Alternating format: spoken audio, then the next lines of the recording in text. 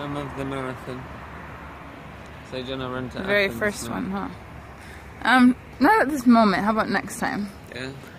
Give me a year. Philippides, right? That was him. Obviously, Philippides. Mhm. Philippides ran from Marathon to Athens to let them know that they won the Battle of Marathon against the Persians. Yay. Apparently, Thanks to Athena. of course. Obviously.